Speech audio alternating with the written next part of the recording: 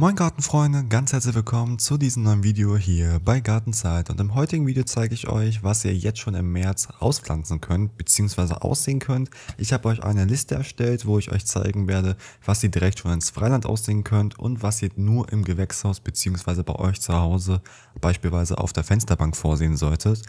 Ja, es sind einige Sachen, deswegen würde ich sagen, lehnt euch ein bisschen zurück, genießt das heutige Video, lasst ganz gerne ein Like und ein Abo da und falls ihr Fragen habt, schreibt es mir unten in die Kommentare. Als ersten Punkt habe ich mir den Radieschen aufgeschrieben, denn Radieschen ist das, was ich bei mir selber persönlich als erstes rauspflanze, denn sie sind ein sehr schnell wachsendes Wurzelgemüse, die innerhalb von wenigen Wochen, meistens drei, vier, fünf Wochen nach der Aussaat schon wieder geerntet werden können.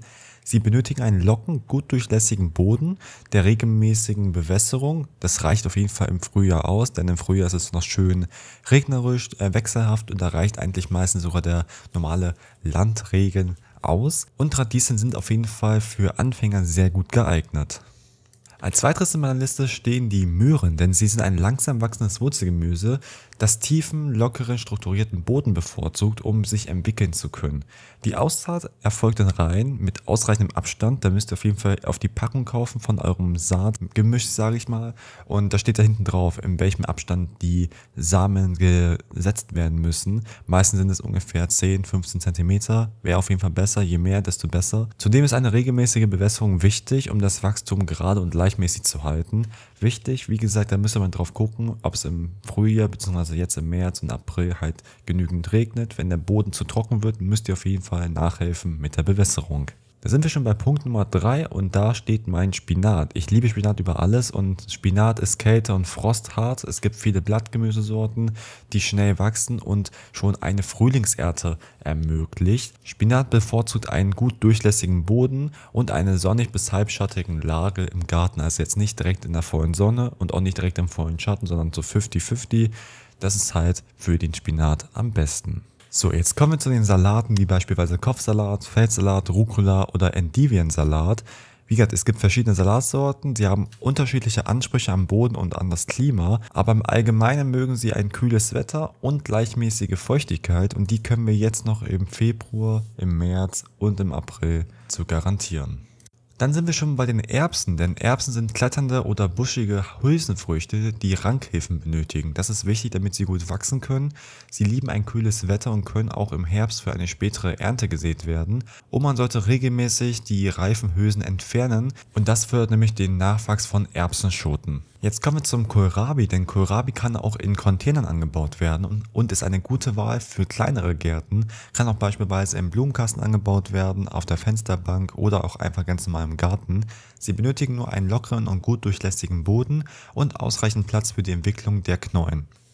Wiederum ein bisschen schwieriger ist die rote Beete, denn rote Beete ist ein vielseitiges Gemüse mit süßem Geschmack, das roh, das gekocht oder eingelegt genossen werden kann. Sie benötigen tiefen, gut durchlässigen Boden und eine ausreichende Wasserversorgung für ein gleichmäßiges Wachstum.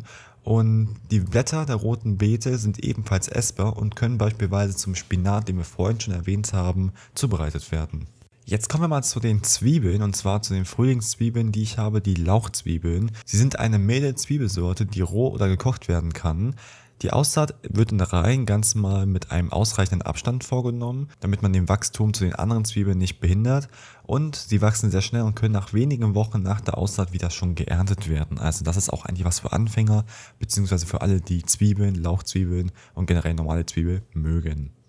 Eine weitere Sorte, die ich ganz gerne anbaue, ist der Mangold. Er schmeckt nicht nur lecker, sondern er kann auch wieder regelmäßig geerntet werden. Und das regelmäßige Entfernen der äußeren Blätter fördert das Wachstum für neue Mangoldblätter. Jetzt vom Knackigen kommen wir zu den Gewürzen und zwar zur Petersilie. Denn Petersilie kann nicht nur als Garnierung, als Zutat in verschiedenen Gerichten verwendet werden, sondern kann auch einfach roh gegessen werden und kann auch wie gesagt als Gewürz verwendet werden, weiterverarbeitet werden und es schmeckt einfach immer lecker. Petersilie benötigt nur einen gut durchlüfteten Boden, eine halbschattige bis zum sonnigen Lage, also so halbschattig, halbsonnig, wie man es auch nennen mag, und kann wie gesagt auch ähm, regelmäßig geerntet werden und wächst auch sogar gut in Töpfe und Kräuterbeeten, Hochbeeten sowie einfach im Blumentopf.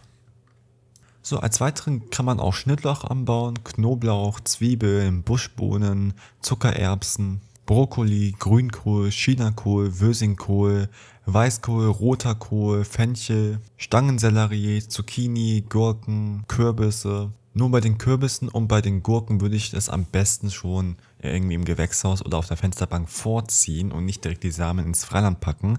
Nur so als kleiner Hinweis. Ansonsten kann man auch noch ähm, Mais vorziehen, Paprika kann man vorziehen, Tomaten kann man vorziehen, Auberginen kann man vorziehen, Kartoffeln kann man jetzt schon vorbereiten bzw. ins Licht packen, damit die schön austreiben.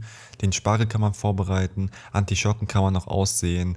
Ja, genau. Wenn ihr noch irgendwelche Tipps habt, wenn ihr noch die Liste erweitern könnt, dann schreibt mir gerne mal unten rein, was ihr jetzt im März schon ausseht. Ich schreibe euch nochmal die ganze Liste unten in die Videobeschreibung rein, damit ihr euch das nochmal alles durchlesen könnt. Von A bis Z, alle Sachen, die ich heute erwähnt habe, stehen nochmal unten in der Videobeschreibung drin, ähm, damit ihr es nochmal ganz einfach nachlesen könnt. Ja, ich hoffe, euch hat das heutige Video gefallen. Wenn ja, lasst ganz gerne ein Like und ein Abo da. Und wie gesagt, falls ihr Fragen habt, schreibt sie mir unten in die Kommentare rein und aktiviert die Glocke, um kein neues Video mehr zu verpassen. Ja, dann wünsche ich euch ganz viel Erfolg beim Anbauen, beim Fortzüchten und beim Einpflanzen in eure Beete. Gutes Gelingen und dann sehen wir uns im nächsten Video. Bis dahin und ciao.